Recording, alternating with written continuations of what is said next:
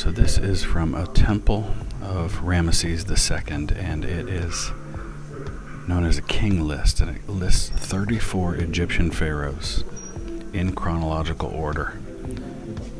It was put on the temple around 1250 BC. Now Ramses was doing kind of his own fake news as he excluded foreign kings, female rulers, and heretic royalty. But the 34 who are listed here are all in order. And you notice the circles around the names. Those are cartouches. That shows us that that is a royal name. Amazing stuff.